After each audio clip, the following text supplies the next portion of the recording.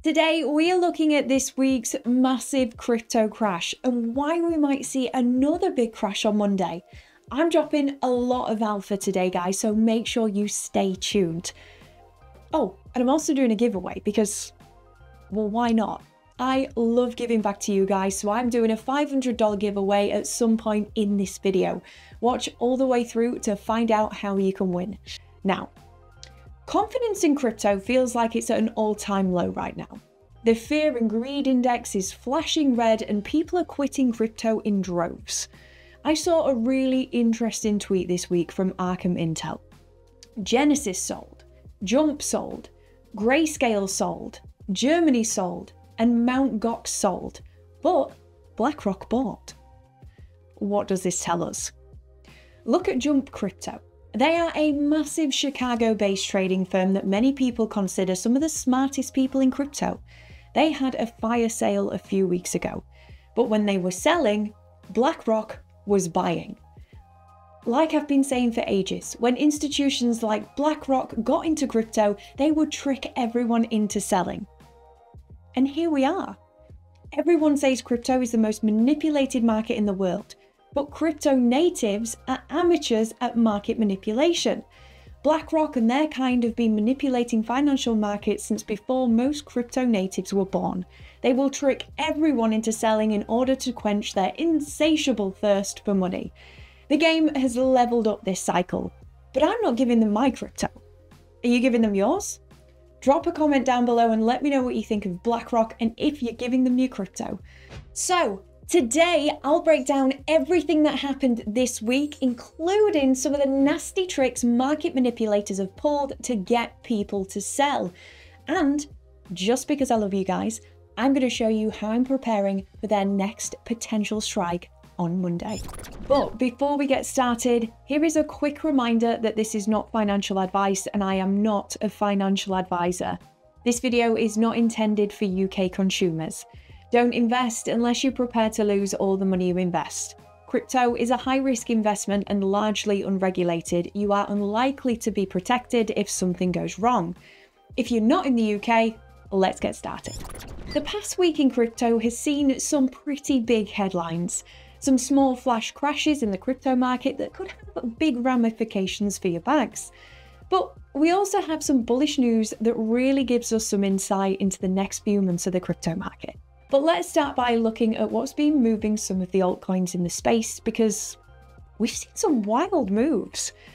The big piece of news this week was the CEO of Telegram, Pavel Durov, being arrested in France. He's currently out on a 5 million euro bail. But the reason this was big for crypto is the relation between Telegram and the Ton network. Ton has integrated heavily with Telegram, and with the arrest of Durov, we saw Ton's price tank from around $6.80 down to almost 5 But the bad news for Ton didn't end there, with several network outages bringing the network to a halt. Now, all of this isn't the end for Ton, but it should serve as a warning to you guys that you shouldn't put all your crypto eggs in one basket. Random news events like the CEO being arrested aren't. And the other big reason you should be careful with your bags is what I mentioned at the start with the potential market manipulation occurring in crypto at the moment. The low liquidity we're seeing in the market right now isn't something exchanges like to see. And if you've stuck around these past few months, you probably feel like we're in a bear market.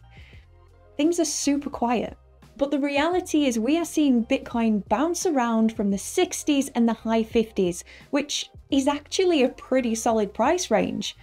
But these summer months are always quietest across the markets. People are on holiday, they aren't trading.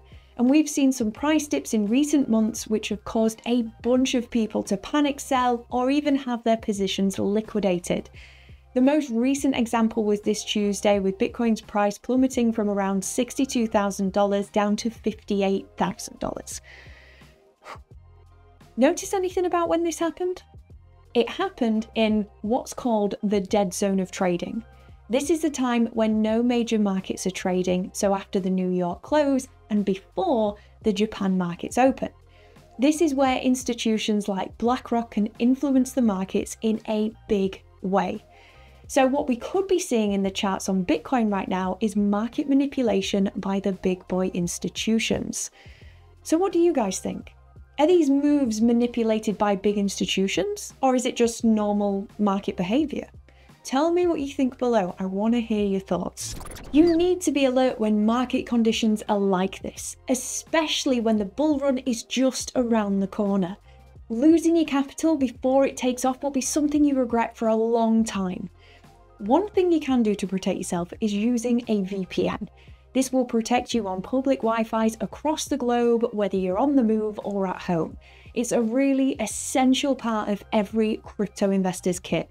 And I've got a killer deal for you guys right now with NordVPN. You can get a discount, multiple months free, and even an eSIM deal.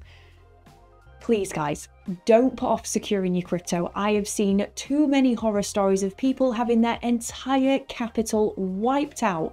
This is a really quick and easy way for you to secure yourself. So make sure you do it before you have any regrets. Now, one area of the altcoin market that has been seeing some strong performance are meme coins.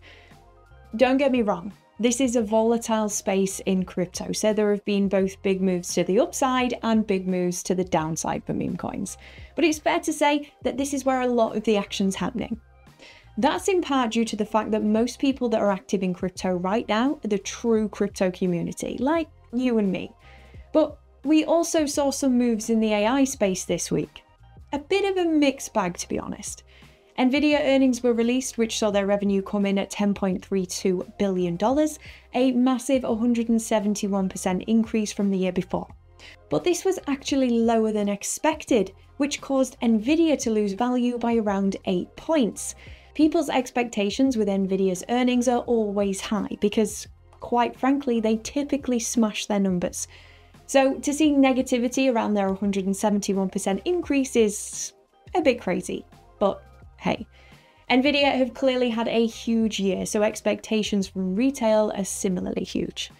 Now, that being said, there is still huge demand for their chips, and we've seen the rise of Nvidia have a direct knock on effect in the AI crypto space. There's some bullish news with OpenAI, as they are in talks to raise more funds that will value the company over $100 billion. So, it's safe to say that AI has had a strong week.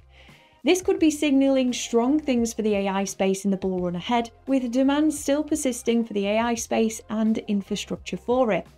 In other bullish news, Trump has announced plans to make the US the crypto capital of the world, further bringing the crypto community into his camp. Trump continues to show that he is pro crypto with a stark difference to the current stance of the SEC.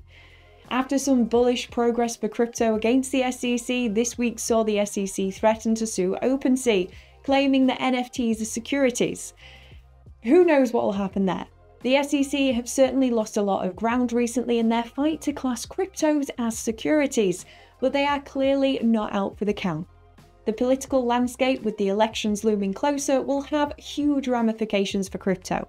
So it's becoming essential for you to keep one eye on the race, no matter where you are in the world. So, the past week has seen some pretty interesting moves. Potential market manipulations and the jailing of the Telegram CEO are developments that are keeping people on their toes. It's anyone's guess as to who is behind these movements within the market, but they're certainly impacting retail investors. Whilst the week has seen Bitcoin's price continue to range, the overall sentiment for the long term outlook of crypto has actually remained quite high. With the election coming closer each week, how the candidates position themselves is becoming more important to track. We have a huge week coming up for the markets, guys. The first week of the month is always exciting as the market eagerly awaits the non farm employment change numbers from the US, which is also known as the NFP report. This monthly economic indicator measures the change in the number of employed people in the US, excluding people like farm workers and government employees. This is one of the leading indicators for the health of the labour market, which is important to investors. Weak employment growth suggests a faltering labour market, which can lead to lower inflation and prompt central banks to cut interest rates. And that's what it all comes down to interest rates. Because in a few weeks, the FOMC will decide whether or not to cut interest rates. The NFP is one of the many indicators they consider when making this decision, but it is one of the more important ones. Right now, everyone expects a cut, but it's all but confirmed. However, if the NFP numbers surprise us, then who knows? They may hold off from cutting rates, and that would be bad for crypto prices.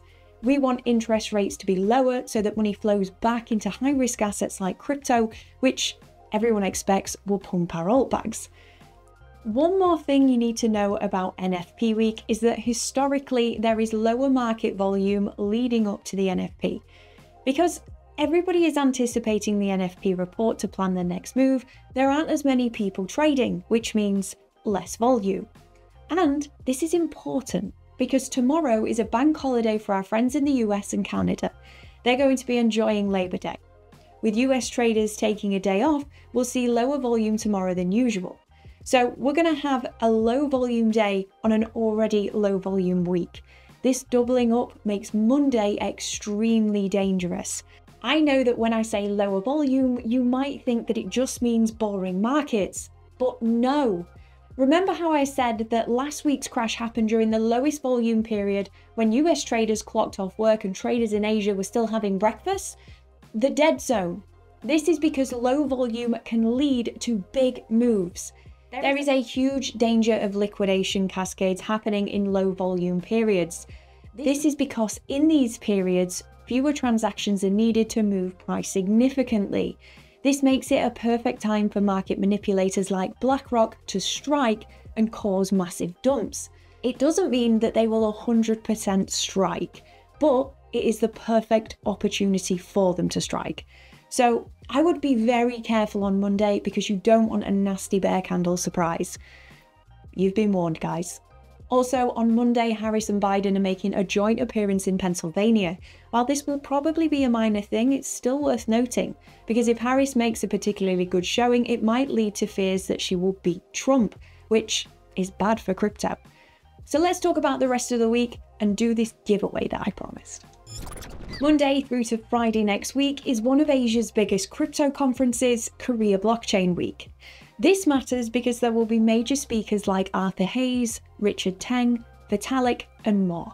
Also, major crypto projects might make big announcements that could cause massive pumps. A lot of it will be live streamed, so if you have time, catch the streams to get any alpha early. On Tuesday, we have the ISM Manufacturing PMI. This is a monthly indicator that measures the health of the US manufacturing sector, which is an indicator of the overall economic health. Basically, above 50 indicates growth and below 50 indicates contraction, which is bad. Last month's reading was 46.8, which is really bad. Much like the NFP, the low manufacturing PMI would be one factor considered in a rate cut. This coming Wednesday, Trump will be speaking in Pennsylvania. This is important because he might mention the crypto space, of course. And on Thursday, we have the services PMI, which is the same for the services sector. Last month, this one was 51.4, which is still great.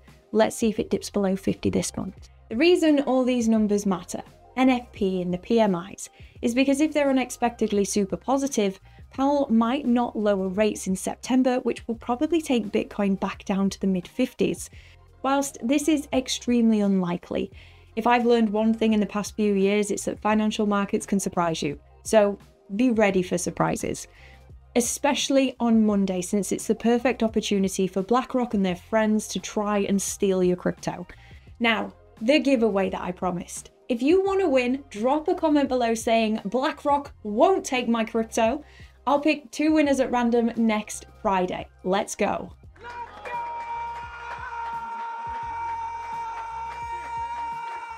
Now, I want you to do me a small favour.